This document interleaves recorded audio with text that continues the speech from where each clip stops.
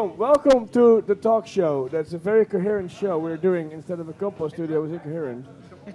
I am here with a bunch of people that did cool stuff today. And we are actually here with some people that brought us an award show to Revision for the first time in two years. Because we all remember the moment the Scene.org Awards were like a bitch and left to assembly and then died. So luckily this oh, year, Truck has different opinions, which he is allowed to spew in a minutes in his five minute segment he's gonna have. So yes, a talk show, a talk show about things, things that happened today. The Danes brought us an award show, unlike any other, and we're very happy to have them here. I'm on the couch bench seats here with Puryx, who was one of the organizers of the Dub Awards. Tropical Trevor of Poop Brain, one of the winners of uh, an award, and Farfar, who was wearing a hazmat suit during the show. No context. No context. So, today the Dub Awards, and I'm gonna give the microphone to Puryx to explain why and how the Dub Awards went from the sock in Denmark, where they were a known thing for the last decade, to Revision in Germany, where they became a huge thing. Puryx, why and how? Thank you. No, really. I mean, we're just trying to do something which was not that official. Trying to make people happy about stuff that's not, you know. A lot of people do a lot of cool stuff in the demo scene, and many people don't really get that much appreciated. And we're trying to find stuff and people that we like and love, which is usually pretty odd, but still adorable and we give them an award. and I mean, basically, that's the simple concept about it. Can you give me some examples of the awards you handed out? Because we used the award shows to give out best effects, best music, and best performance. But you chose a different route. What was the route you chose and why? Well, I mean, actually, I, I do love this Scene.org Awards. I would love though. I would, I would love to have it back in some part, but I mean that's different story. What what we think is a good idea is to to bring to bring in front people who are doing stuff which is not necessarily involved in a demo as such. So that would be for this year. It was, I mean, we had a best infodesk performance, which was Havoc. Could be anyone. It was Havoc because Havoc has been in the infodesk for a shitload fucking a lot of parties, and been doing a great job.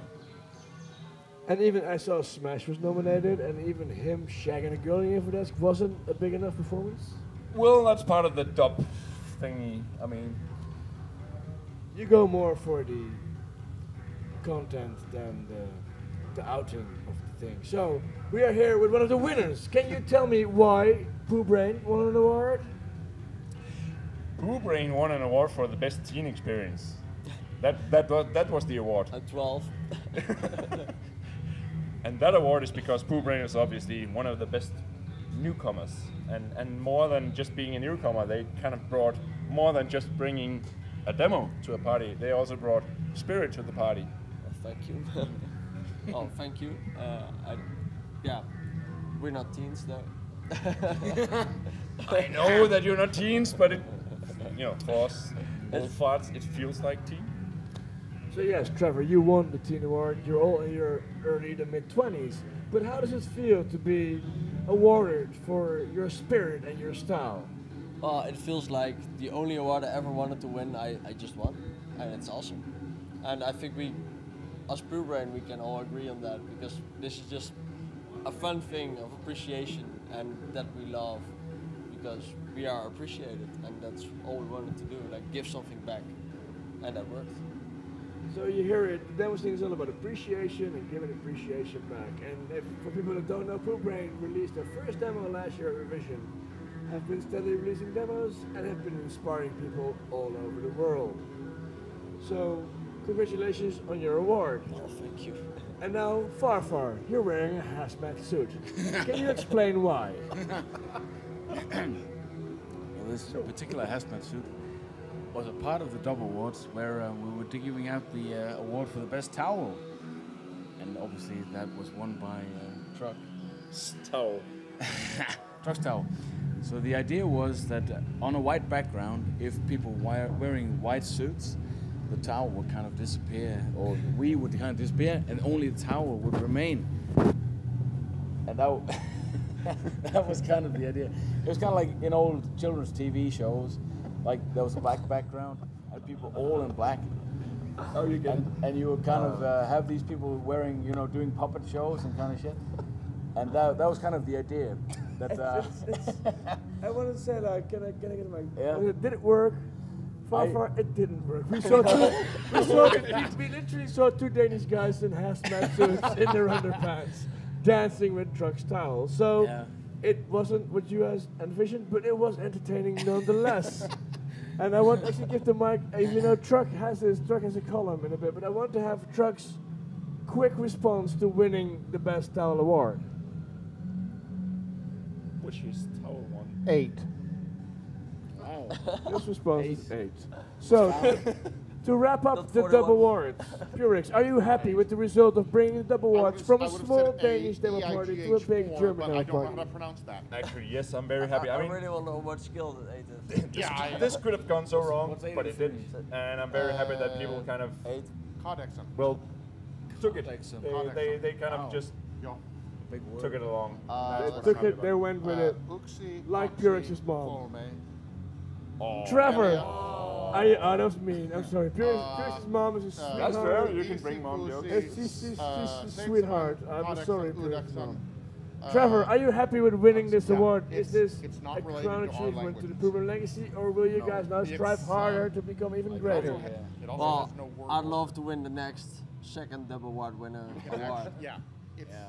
So yeah, this is definitely a big thing. the You have to try harder Are, and get further. you know, Get further. You have to, Be have to second, the second award right. winner. Yeah. That would be the second you've done that, it second award where the words are. winning So, award award. Yeah, it's it's. And it's outside of your it's dwarf, do you have anything to add? Upside down.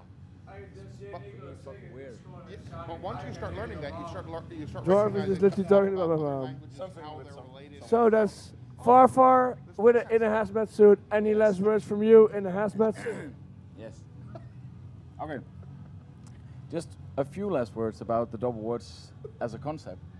Um, they they uh, they kind of arose when we were um, coming back from kindergarten in Norway. We were on in the car going back from Billund Airport. Um, I was driving, I think, and people were in the back seat, and they were talking about random shit. And it was kind of like, wouldn't it be funny if, like, now that the um, now that the Scene Awards had died, wouldn't it be funny if we made some other awards and rewarded stuff like, I don't know, most silly hat at a party or something. And that was after TSAC where we had the high, the, the tall hat and that, and that kind of thing. And I don't know. I think we had a we, we do a lot of stuff at TSAC that's kind of stupid, but the party is small enough that we kind of incubate stupid shit. And it's kind of you know we have an idea, and we kind of incubate it and make it into something, and it turns out it's kind of funny. And now it's here at, at revision, and it turns out that the small ideas that you kind of you know that you incubate at a small party without a lot of bureaucracy around it, it can kind of turn into something. And that's the, the value, I think, of small parties with a small amount of bureaucracy and a small amount of organization that you can just get an idea and it's kind of spontaneous and you do some shit and it turns out to be really cool. I mean, that's, um, it's- yeah. That's the best stuff I I've say heard for a long this time. is They this is indeed deep, and this is also summing up the demo scene to a great extent. Like doing dumb shit because you can at a small party, bringing it to a bigger party and realizing that everybody will still enjoy that. So yes, thank you. Thank you, Danish Brigade, for bringing us the double award. Thank you, Poo-Brain, for winning one. Thank you, Dwarf, for your mom.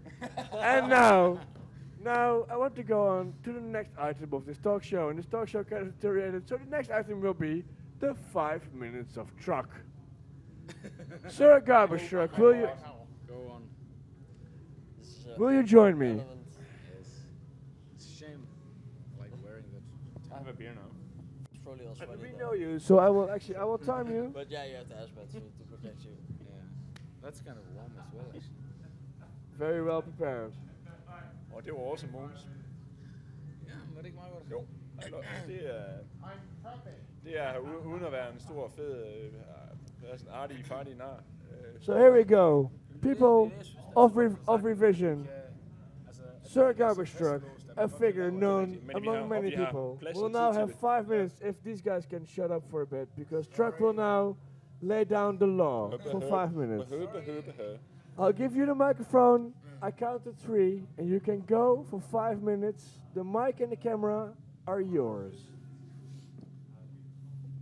Three, two, one, go.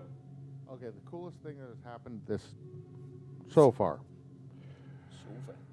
My friend Keen, who happens to be from the Ukraine, which those of you who are paying attention to stuff, unlike me, may understand that there is some crap going on there. I'm not going to talk about the crap. I'm going to talk about my friend Keen. Jeg vil skide på, han står og snakker. Keen got a visa. Keen wants to do a demo party in the Ukraine. døde ud af When he does, we should all go. Keen got a visa. He's here. He brought me, well, he brought everybody this. Uh, uh, I don't. It's a sash, which is now tied around my towel, uh, showing that. Well, there are folks in the Ukraine that uh, want to be independent. At least I understand that to be the way that he is saying it. That is the coolest thing. He gave me the sash. Uh, folks, one of the coolest things about the demo scene is that you get to meet people from other countries, other cultures, and you become friends. There ain't much better than that. When I when I uh, listen to Relay from uh, Hell of a lot of good music, hell of a lot of good productions are going to show up. Yeah, no, no, he is nice. But he likes. We got friends. It rules. Yeah, man.